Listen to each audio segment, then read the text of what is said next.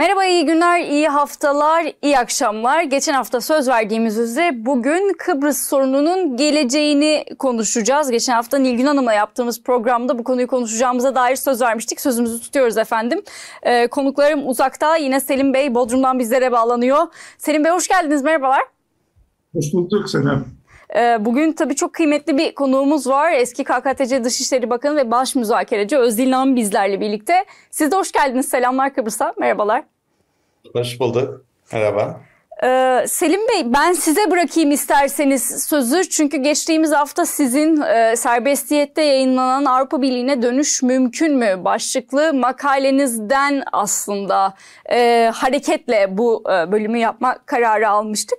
Orada önemli doneler vardı Kıbrıs sorunuyla alakalı. Sizin dikkatinizi çekenleri geçtiğimiz hafta konuşmuştuk ama bize bir kez daha hatırlatırsanız ve Özil Bey'e öyle dönersek aslında hem benim için hem de izleyicilerimiz için iyi olur. Buyurun sözü size bırakayım.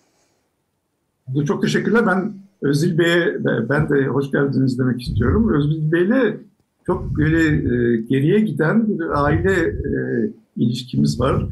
Özil Bey'in büyük babasını ben çocukluklarımdan e, tanırım. E, İngiltere'deki Kıbrıs Türk toplumunun önde gelenlerinden de rahmetli Salih Bey. E, babasını da tabii çok eskiden beri tanırım. Kendisiyle de birkaç defa görüşme fırsatı oldu. Onun için bugün bizi kırıp yiyip gelmesi, gelmemiş, gelmiş olması beni ayrıca çok mutlu ediyor. Ee, hem sizin de dediğiniz gibi Özdil Bey işte Dışişleri Bakanlığı yaptı, baş müzakerecilik yaptı. Ee, konuyu e, en iyi bilenlerdendir. Ee, ve biraz işte şeyi konuşmak istiyoruz kendisiyle. Son zamanlarda Avrupa Birliği e, konusu tekrar Türkiye'de gündeme geldi. E, ve işte e, NATO zirvesinden önce e, Cumhurbaşkanı Erdoğan e, Kıbrıs şeyin, e, İsveç'in NATO üyeliğiyle Türkiye'nin AB e, üyeliği arasında böyle bir bağlantı kurdu falan. Sonra bu bağlantı e, çok şükür çok uzun sürmedi.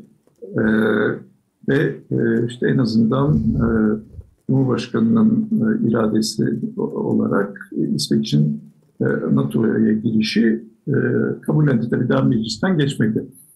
E, ama orada tekrar böyle Avrupa Birliği ile ilişkilerin geliştirilmesi, işte şeyde üstte kabul edilen kağıtta açıklamada işte İsveç'in de zaten İsveç öteden beri işte Türkiye Avrupa Birliği ilişkilerinde olumlu bir rol oynamıştır. Bu konuda da tekrar böyle bir şey yani gayret harcayacağı falan e, söylendi. İşte Avrupa Birliği'nde de e, bir takım çalışmalar var. Geçen hafta konuşmuştuk. Hmm.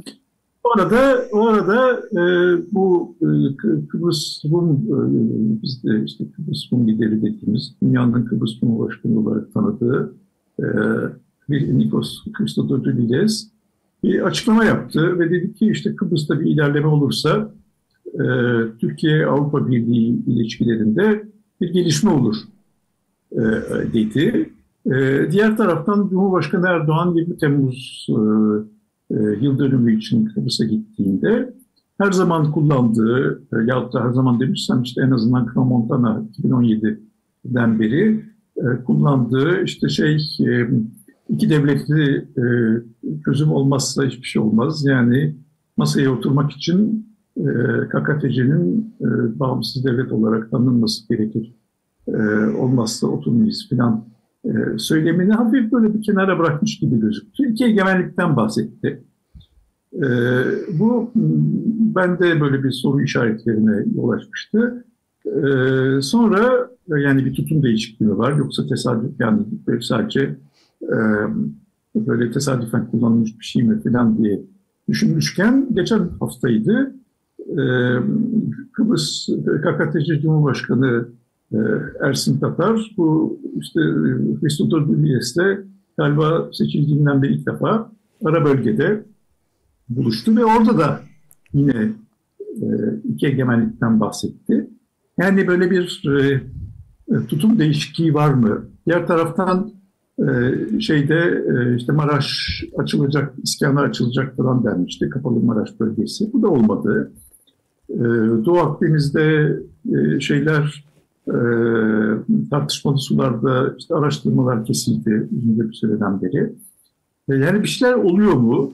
e, Kıbrıs'ta ve e, e, Özil Bey siz nasıl görüyorsunuz e, bu yani e, ortamda bir ilerleme olabilir mi bu ilişkilerde?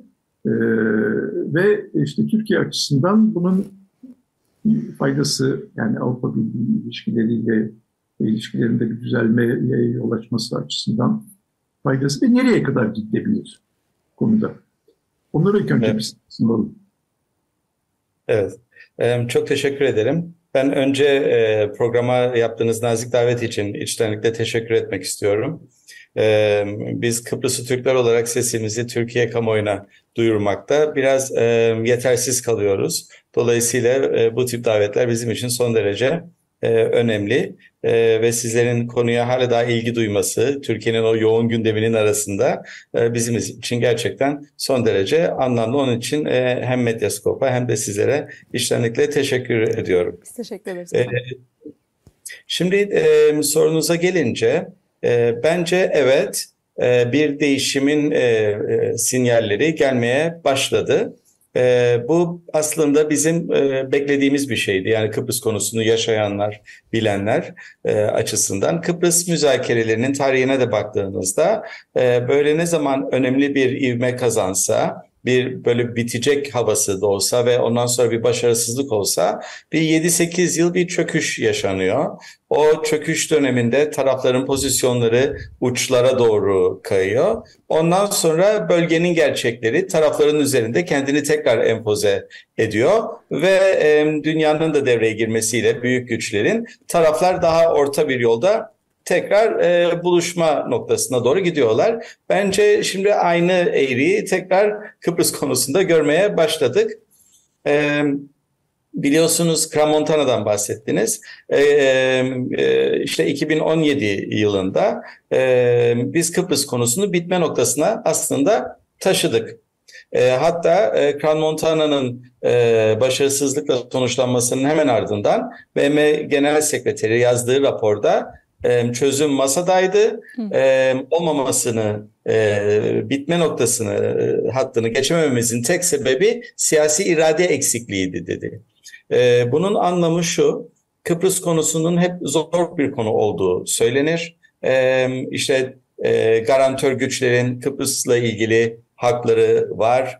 E, bu iki toplum arasındaki siyasi denge nasıl oluşacak konusu var. E, 50 yıllık bir bölünme var, mülkiyet konusu nasıl halledilecek gibi birçok böyle çetrefilli konu olduğundan bu iş çözülmez diye bir algı var. Fakat e, biz 2017'ye kadar giden o süreçte bütün bu teknik konuları aslında e, çözme e, noktasına kadar getirdik. E, fakat e, Rum lider son anda e, korktu, çözümden korktu. Çünkü e, çözüm eşitlik temelinde olacaktı. E, ve bir tarafın diğer tarafı idare etmesi tahakkümü e, mümkün olmayacaktı. E, ve Türkiye'nin de adada bir rolü aslında devam ediyor olacaktı. E, bu noktada bir hamle yaptı Rum lider ve Türkiye ile Kıbrıslı Türklerin arasındaki e, bağları e, tamamen kopartacak çok ekstrem ekstrem bir talep aniden ortaya koydu biz bunu kabul etmeyince bunu bahane bilerek kaçtı. Ee, şimdi esas e, kaçma sebebi işte Türkiye'nin burada garantörlüğünün devam edeceği konusu falan değildi. Çözümün tamamıyla ilgili e, bir uzlaşı ortaya çıktı. Ben şimdi bunun buradan kaçayım. Kendi Cumhurbaşkanlığı seçimleri vardı. Onu bir atlatayım. Yine bakarız e, noktasında bir irade gerçekleştirdi. E, Bundan biz çok önemli bir ders aldık Kran Montana'da. Benzer bir e, olay e, 2004'te Anam planıyla başımıza gelmişti. Yine bitti bitecek havası vardı ve referanduma gittik ve Rumlar hayır dediler. E, şimdi buralardan aldığımız e, ders bizim Türk tarafı olarak şu oldu. E, iyi niyetle müzakere masasında çalışabiliriz, e, çözümü zorlayabiliriz, e, ciddi esneklikleri de ortaya koymuş olabiliriz. Ancak Rum tarafı masadan kaçmayla ilgili bir bedel ödemezse e, statükoyu daima tercih edecek. Çünkü AB üyeliğini bir şekilde tek yanlı ele geçirdiler. Orada bizim de hatalarımız çok oldu Türk tarafı olarak. E, Ama realite bu. E, e, refah düzeyleri oldukça iyi, siyasi düzenleri oturmuş, e, dünya ile ilişkileri var. Dolayısıyla böyle bir rahatlığın içindeler. Ve e, masadan kaçmanın bedeli yok. Masayı bozmanın ciddi bir bedeli yok onlar için. E, dolayısıyla gel, geldiğimiz noktada bence şimdi Türk tarafı şöyle bir noktaya e, sürükledi işi.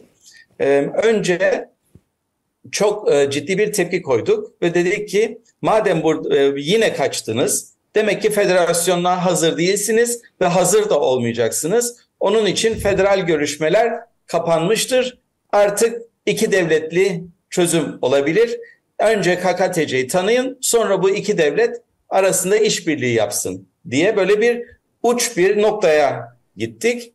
E, bu e, Türkiye'deki hükümetin e, iç siyasetteki durumuna da hitap ediyordu. Öyle anlıyorum. Bir e, seçim takvimi başlamıştı. E, milliyetçi muhafazakar söylemleri üst düzeye taşımak e, oy getireceği hesap edildi. E, buna bağlı bir şekilde Maraş'la ilgili örneğin e, çeşitli adımlar atıldığını da hep bir arada yaşayarak gördük. E, ve bu devam etti. Ama şimdi seçimler artık geride kaldı. E, seçim ekonomisinin faturaları ortaya çıkmaya başladı e, ve Türkiye'nin çok ciddi bir ekonomik e, nasıl dediler rasyonaliteye geri dönmesi e, ihtiyacı şimdi artık e, gözle görülür bir şekilde ortada. E, şimdi ekonomide rasyonaliteye dönüş dış politikada da rasyonaliteye dönüştüğü oranda anlamlı olur diye düşünüyorum. Bunu herkes bilir. Kıbrıs konusu da bu e, listenin en üst e, noktasında. O yüzden Kıbrıs konusunda da e, önce bizi tanıyın sonra konuşalım gibi birazcık da absürt bir politikanın yerini e, müzakere masasına dönelim, dünyayla uyumlu olalım ama geçmişte başımıza gelenler bir daha başımıza gelmeyecek şekilde. Yani e, iyi niyetimizi ortaya koyduktan sonra bile açıkta kalmayacağımız bir kurguyla müzakere masasını tekrar kuralım şeklinde e, bir yaklaşımla bence Türk tarafı e, yeni manevrasını başlatacak gibi geliyor. Bunun da e, sinyallerini almaya başladığımızı düşünüyorum. Evet yani Özgür Bey'in anlattıklarından aslında Kıbrıs müzakereleri de başlarsa yani en azından böyle bir siyasi irade ortaya konulursa Avrupa Birliği'nin kapısının azıcık aralanacağını e, yorumunu yapmak herhalde yanlış olmaz. Selim Bey size bırakayım sözü. E, oradan sonra isterseniz sizin sorunuzla Özgür Bey'e geçelim yine. Şeye, e, çok teşekkürler Özgür Bey bu e, e, özet için. E, ben de son cümlenizden devam edeyim diyorum. Geçmişteki hatalar, e, geçmişteki durum tekrarlanmasın dediniz gayet haklı olarak. Hakikaten de e, geçmişte ama tabii bizim de hatalarımız oldu. E, onu da siz de siz de işaret ettiniz. İşte 2002-2003 döneminde yani Kıbrıs Adası çünkü unutmamak lazım ki Kıbrıs Adası'nın tamamı Avrupa Birliği üyesi, Avrupa Birliği'nin gözünde. Yani sadece Rum tarafı değil, kuzeyde e, Avrupa Birliği'nin gözünde e, Avrupa Birliği'nin içinde yalnız e, orada işte şeyin Avrupa Birliği e, müktesebatı uygulanmıyor diye işte e, katılma protokolünde olan bir katılma antlaşmasındaki bir e, maddeydi bu. Ve tabii bizim hatamız e, maalesef hem Türkiye'deki liderlik hem o zaman işte e, Kuzey Kıbrıs'taki liderlik e, Kıbrıs Adası Avrupa Birliği'ne girmeden çözüm yoluna e, gidemedi, e, göremedi e, adanın bir şekilde iyi olacağını ve üyelikten sonra işlerin çok daha karmaşık olacağını e, göremedi ve hakikaten referandum 2004'te yapıldığında e, e, Rum liderliği e, üyeliği garanti etmişti. Çünkü antlaşma, katılma antlaşması bir sene önce imzalanmıştı. E, bütün işte üye devletlerin parlamentolarından onaylanmıştı referandum yapıldığında sadece işte bir takvimin e, dolması e, gerekiyordu. E, ve çok şaşırtıcı olmayacak bir şekilde e, Rumlar reddetti. Şimdi e, bütün ya kozların önemli bir bölümü de o şekilde e, ondan sonra onların eline geçti. Şimdi geçmişteki durumu yeniden tekrar etmeyelim de o zaman ne yapılabilir? Hı. geçmişteki durumun e, tekrar ol, olmaması için yani e, Rumlar bir çözümden ne bekleyebilir? Nasıl bir avantaj sağlayabilir? Çünkü şu anda e, işte adanın tek temsilcisi olarak zaten öyleydiler. Bir de Avrupa Birliği'ne de girdiler. Avrupa Birliği'ne girdikten sonra Türkiye ile Avrupa Birliği arasındaki ilişkileri işte e, bloke etme imkanına e, sahip oldular. E, bir sürü fasıl biliyorsunuz. E, işte Kıbrıs sorunundan dolayı e, bloke. E, hiçbir fasıl kapanamadı. 2005 senesinden beri, 6 senesinden beri e, e, hiçbir fasıl kapanamadı. E, bir tanesi hariç. E, e, ve tutumlarını değiştirmek için e, ne gibi bir avantaj isteyeceklerdir, bekleyeceklerdir? Yani geçmiş hataları e, yapmayalım ama onlar e, şu andaki duruma nazaran ne gibi bir çözümden ne gibi bir avantaj sağlayabilirler? Şimdi e, Rum tarafı e, az önce de söylediğim gibi oldukça rahat. E, bu rahatlarını bozacak iki şey var. Birincisi dünya kendilerine şunu söyleyebilir. İşte biz Kuzey Kıbrıs Türk Cumhuriyeti ile artık ilişki kurmaya başlıyoruz. Bunu söylerlerse son derece rahatsız olurlar. Bunu engellemek için ellerine gelen her şeyi yaparlar. Veyahut da KKTC'yi tanımak yerine izolasyonların kaldırılmasına yönelik örneğin Ercan Havaalanı'na doğrudan uçuşlar olabilir. Mausa Limanı'nın doğrudan ticarete açılması olabilir. Ee, Kıbrıslı Türkleri uluslararası spor müsabakalarına e, davet etmek olabilir herhangi bir formül altında. E, listeyi uzatmak mümkün. Yani bu izolasyonların kaldırılmasına yönelik adımlar e, olabilir. Bir bunlar var. E, bir de bir de e, e, uluslararası camianın kendi çıkarları var bölgede. Unutmayalım yakın geçmişte işte bu mavi vatan e, başlığı altında e, tanımlayabileceğimiz adımlar atılırken e, Türk donanması ile Fransız donanması burun buruna geldi. Neredeyse e, adanın güneyinde münhasır ekonomik bölgeyle ilgili olarak bu doğal gaz vesaire araştırmalarıyla ilgili olarak bir çatışma havasına doğru bile gidilmeye başlandı. E, diğer taraftan bir işte Rusya-Ukrayna olayı var. E, Avrupa'nın enerji kaynaklarına ulaşımıyla ilgili alternatif ihtiyaçları alternatif hat ihtiyaçları ortada ve işte Doğu Akdeniz'de biliyorsunuz önemli miktarda bu kaynakların olduğu da söyleniyor ve bunların Avrupa'ya sevkiyle ilgili en ucuz ve kısa yolun Türkiye üzerinden olduğu da uzmanlar tarafından ifade ediliyor. Ama bütün bu projeler işte bölgenin e, Doğu Akdeniz'de e, gerginliğin azaltılması, doğal kaynakların kullanılması, e, Rusya'nın bir şekilde kontrol altına alınıp bölgede etkinliğinin artmasını engellenmesi gibi şeyler. Bu bölgede toprağı olan bütün ülkeler ülkelerin birbiriyle konuşmasını bazı noktalarda da e, uluslararası anlaşma yapmasını gerektiriyor. Çünkü örneğin bir doğalgaz konusuna baktığınızda anlaşmaların böyle milyarlarca dolardan e, oluştuğunu görüyorsunuz. Yani böyle bir e, gentleman's agreement gibi e, böyle bir tokalaşarak olacak konular değil. Birbirinizi muhatap almanız lazım. E, ve e, hükümlere uyulmadığı zaman cezai müyde uygulayabilecek e, kompleks yapılar oluşturmanız lazım. Şu anda bu tip e, işbirlikleri Kıbrıs konusu yüzünden mümkün değil. Türkiye Rum tarafını tanımıyor. Rum tarafının Türkiye ile diplomatik ilişkisi yok. E, Kıbrıs yüzünden e, Mısır'la gerginlik e, artıyor. Mısır e, e, işte Yunan, e, Rum tarafına yanaştı. E, Yunanistan'da devreye girdi. İsrail'le bir ittifak oluşturdular vesaire. E, o yüzden ben şöyle bir kurgu görüyorum. Şöyle bir kurgu görüyorum. Türkiye ile iyi ilişki içinde olmak aslında tüm devletlerin çıkarına güvenlik açısından, enerji açısından, ekonomik aktivite açısından. Bunu arzu ediyorlar. Bunu engelleyen faktörler var. O faktörler listesinin en üst sırasında bence şu anda Kıbrıs konusu var. Eğer Kıbrıs konusu çözülürse bundan menfaat sağlayacak olanlar sadece Kıbrıslı Türkler değil, daha geniş bir e, çevre var orada. Şimdi Türkiye şu, e, muhtemelen muhtemelen şu anda bu diplomasi başlamıştır.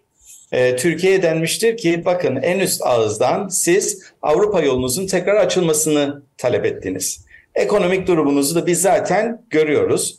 E, yardım da etmek istiyoruz çünkü bu bizim de çıkarımıza. Milyonlarca göçmeni barındırıyorsunuz vesaire. E, Gümrük Birliği anlaşmasını örneğin güncellemeyi biz de istiyoruz. Enerji konusunda işbirliğini biz de arzu ediyoruz. Ama gelin bu Kıbrıs konusuyla ilgili engeli bir ortadan kaldıralım. Bunun için bunun size yüksek bir maliyeti de yok. Ee, gelin bunu bir yapalım. Türkiye muhtemelen burada e, akılcı bir umuyorum akılcı bir e, cevap verecektir ve diyecektir ki yani bu benim ümidim. Diyecektir ki iyi güzel söylüyorsunuz. Biz de bunu çok arzu ediyoruz ama bakın 2004'te denedik. Karşı taraf hayır dedi gitti. E, 2017'de bütün o süreci destekledik. Masadaydık. Kran Montana'da zirvede elimizden geleni yaptık. Ee, garantörlüklerle ilgili bile esneklik gösterdik ama muhatabımız yine kaçtı. Dolayısıyla biz muhatabımızın ciddiyetine artık inanmıyoruz. İyi niyetine de inanmıyoruz, samimiyetine de inanmıyoruz. Ee, dolayısıyla bugünkü iki devletli politika e, konusunda o, o, o yüzden ortaya koyduk. Eğer bize o hayal kırıklıklarını yaratmayacak yeni bir süreç önerirseniz biz masaya döneriz. Yani bu nasıl olur? Aslında Genel Sekreter, BM Genel Sekreteri bunun e, hatlarını çizdi kendi raporunda. Dedi ki e, artık Kıbrıs'ta yeni bir e, çabanın ucu açık olması mümkün değil dedi. Yani bir takvim olması gerektiğini, başlangıç tarihiyle bitiş tarihinin belirlenmesi gerektiğini söyledi. İkinci önemli husus statüko kabul edilemez dedi. BM Genel Sekreteri ki bu aslında iki tarafın e, imzaladığı en son anlaşma olan 11 Şubat 2014 anlaşmasının ilk cümlesi de budur. Statükonun devamı kabul edilemez. Bu iki faktörü yan yana koyduğunuzda demek ki bize yeni bir müzakere süreç kurgusu lazım. Birinci şart takvimli olması lazım. Müzakerelerin başladığı günle biteceği günün başından e, belirlenmesi lazım. İkincisi bittiği zaman tekrar e, referanduma gittiğimizde Rumlar hayır derse biz evet derken bize ne olacağının işin başından a priori belirlenmesi lazım. Peki e, bu nasıl olacak? Rumlar bunu gönüllü olarak kabul etmezler. İşte burada Türk diplomasisinin bütün gücü ve maharetinin devreye girmesi gerekiyor. Yani bugün bize bizim KKTC'yi tanıtma gücümüz var diyenler, var diyenler e, bunu yapamıyorlar belli yapamayacaklar belli ama Türkiye'nin o büyük gücünü kullanarak bize işte böyle takvimli ve sonunda bize ne olacağının belli olacağı bir müzakere sürecini diplomasiyle kotarabilirler diye düşünüyorum. Yani Türkiye der ki tamam dönelim masaya 3 ay müzakere edelim kaldığı yerden devam edelim. Bu kadar yıllık emeği çöpe atacak değiliz. Kaldığı yerden devam edelim.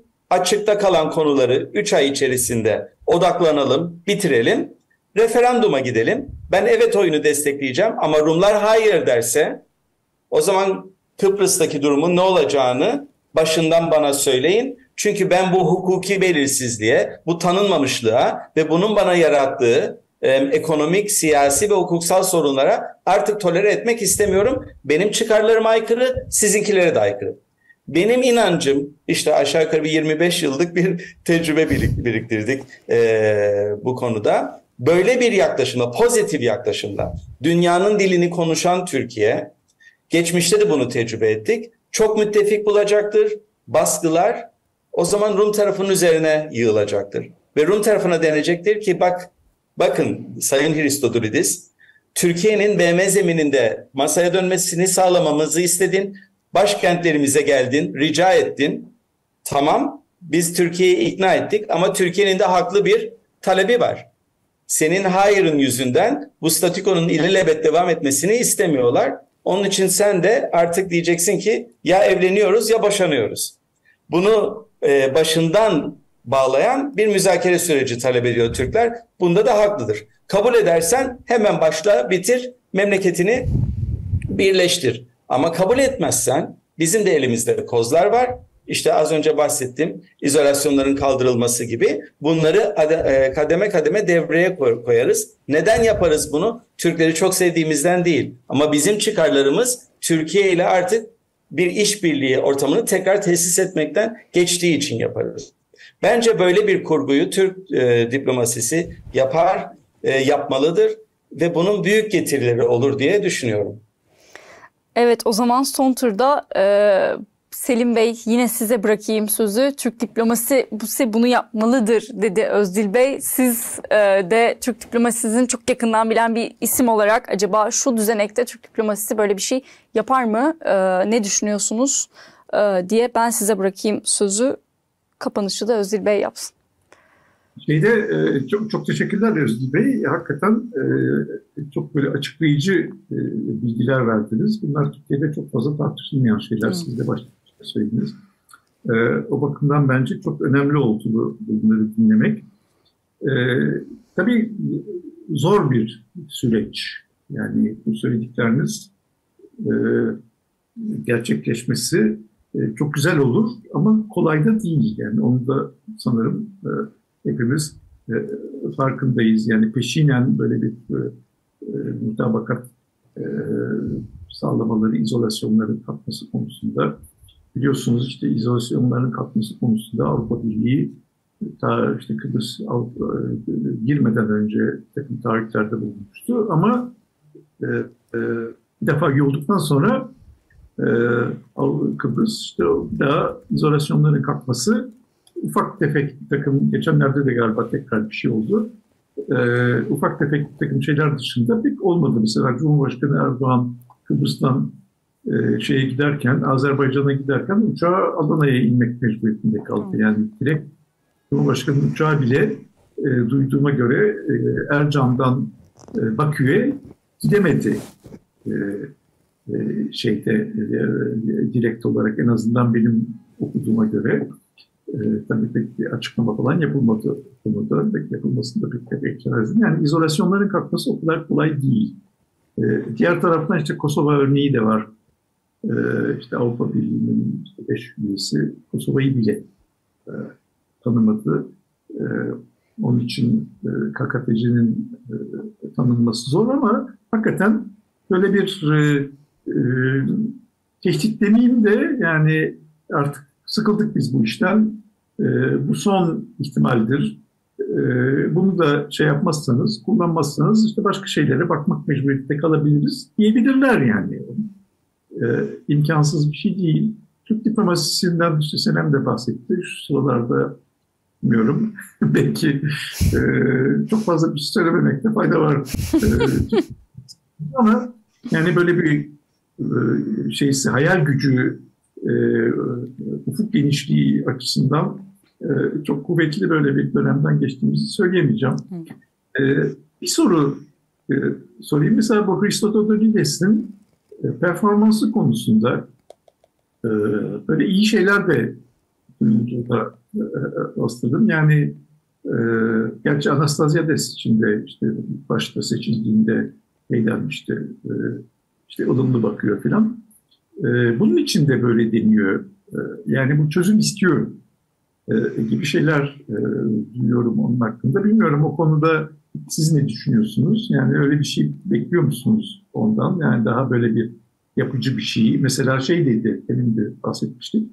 E, Türkiye işte yani Kıbrıs'ta müzakereler başlarsa işte Birleşmiş parametreleri çerçevesinde demek istedi herhalde e, Türkiye-Avrupa Birliği ilişkilerinde de bir takım şeyler olur filan demişti. Yani böyle bir havuç da e, attı denebilir.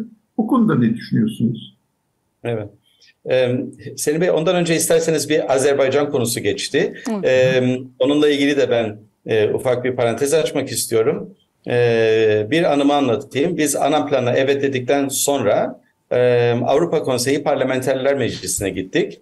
Ve orada temsiliyet hakkımızı istedik. Dedik ki biz evet dedik, Rumlar hayır dedi. Ee, e, ve bu konseyin dışında tutulmamız e, konseyin ilkelerine ters düşer dedik. Ve ciddi bir çalışma yapıldı e, ve Türk Hariciyesi'nin de çok muazzam e, desteğiyle biz bu hakkı elde ettik. Ve konuşmamız e, gündeme geldi genel kurulda ve orada oylama yapıldı. Dendi ki Kıbrıs Türk temsilcinin, orada da bendim, e, hemen genel kurula hitap etmesini oylarınıza sunuyoruz. Nitelikli oy çokluğu lazımdı gündeme son anda girdiği için ve 6 oyla biz o oylamayı kaybettik ve 6 ay beklemek zorunda kaldık. O 6 oy neydi biliyor musunuz? Ee, Azerbaycan milletvekillerinin e, toplantı salonunu terk etmesiydi. Neden terk etmişlerdi? Çünkü onların üzerinde de başka yerden gelen ciddi baskılar vardı özellikle Rusya'dan. Yani bizi sevmediklerinden değil. Yani e, çok iyi ilişkilerimiz vardı ama her ülkenin kendi üzerinde olan ciddi e, etkiler, baskılar olduğunu da hepimiz biliyoruz. Benzer bir şey Azerbaycan Dışişleri Bakanı daha geçen gün Türkiye'deydi. E, yapılan açıklamaları ben dikkatli dinledim basın toplantısını. Kıbrıs'ın adı dahi geçmedi. Evet. Adı dahi geçmedi. Ne izolasyonların kaldırılması, doğrudan uçuşlar ne de tanıma hiçbir e, şekilde. Dolayısıyla dediğinizde haklısınız. Çok zor bir durumdayız. Mevcut durumda izolasyonların kırılması neredeyse imkansız gibi bir şey. Bunu yaşayarak gördük. Dolayısıyla bizim bir yarma hareketi gibi bir şey yapmamız lazım. Ee, ben işte onun formülünü burada görüyorum. Yani biz şu anda masada değiliz.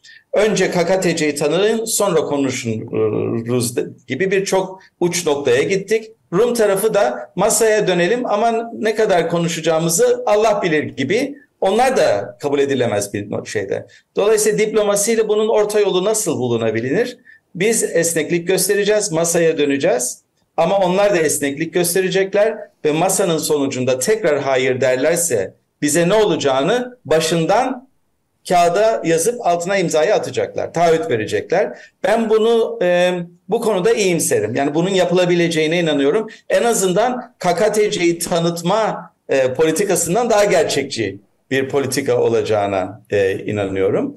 E, ve bunu da aslında elzem görüyorum. Çünkü Hristodulidis'i sordunuz.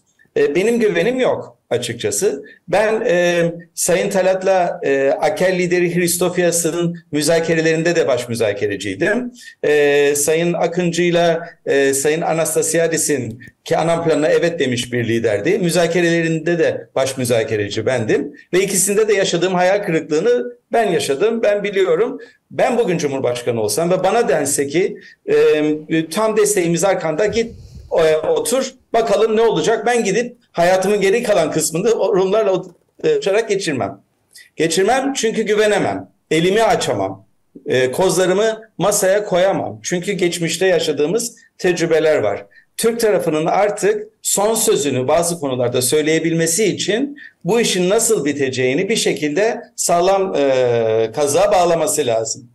E, o yüzden istediği kadar şirin gözükmeye çalışsın Hristodolides. E, bizdeki en çözüm e, destekçisi e, siyasiler bile artık onlara güvenerek masaya oturamaz. Bir değişiklik mutlaka şart. O da ancak benim gördüğüm kadarıyla işte e, işin e, müzakere kurgusunu başından e, yaparak olur. E, Hristodilides doğrudur. Avrupa Birliği'ne gittiği değişik ülkelere ya e, Türkiye masaya dönerse işte gümrük birliğinin genişletilmesi, vize serbestiyeti vesaire bir iki konu daha ekledi. Bunlarla ilgili olumlu açılımlar yaparız, pozitif gündem oluştururuz. Hiç kimse kendisine yüz vermedi. Çünkü aslında onlar da e, çok inanmıyorlar. Bir de Aristoteliides'in onlardan istediği konularla ilgili kendi kamuoylarında zaten problemleri var. Yani onu e, Rum'u e, mutlu etmek için kendilerini sıkıntıya koyacak değiller. Onun için onlar dediler ki sen ilk önce ne yapıyorsun? Ciddi bir müzakere sürecini tekrar tesis etmek, başlatabilmek için onu bir düşün. Ondan sonra gel konuşalım dediler. İşte bence bu noktada Türk tarafının inisiyatifi alması daha iyi olur. Ee, kendisine Kıbrıs konusunu açanlara net bir e, duruşla, gönül rahatlığıyla iyi güzel diyorsunuz. Ben de hazırım, ben de istiyorum BM zeminine dönmeyi ama bir iki tane şartım var. E, o da bu işin sonunda bu Kıbrıslı Türklere ne olacak? E, karşı taraf tekrar kaçarsa veya hayır derse bunu bir konuşalım, bağlayalım demesi lazım. Evet. Çok güzel bir yol haritası. Ee, çok güzel bir yol haritası hakikaten. Ee, inşallah e, sesinizi duyurabilirsiniz. Ee, Ankara'da e, bu şey yol haritası çerçevesinde belki bizim bu programı dinleyenler de olur. İnşallah. Yamanlar olur diye düşünüyorum. Peki o zaman ben de her ikinize de çok teşekkür ediyorum. Katıldığınız için, değerli katkılarınız için. Selim Bey çok teşekkürler tekrar. Özil Bey size de çok teşekkür ederiz. Kıbrıs'a da tekrar e, selamlar dileyelim. E, Selim Bey Bodrum'a da selamlar tabii. E, izleyicilerimiz, izleyicilerimize de. Buyurun. E, geçtikten sonra belki Özgür Bey bizi tekrar kırmaz. Tabii ki. Meydana gelebilecek olan gelişmeleri de tekrar kendisiyle evet, seve. değerlendiririz. Tabii ki. Seve seve. Çok sağ olun. Bizim de Kıbrıs'a yolumuz düşerse eğer e, bir kapımız daha olduğu e, bu vesileyle tekrar tekrar çok teşekkür ediyoruz. Tabii. İzleyicilerimize de çok teşekkür ederim. Haftaya yeniden yeni bir konuyla, yeni bir konukla görüşmek dileğiyle diyelim. Hoşçakalın, iyi akşamlar tekrar.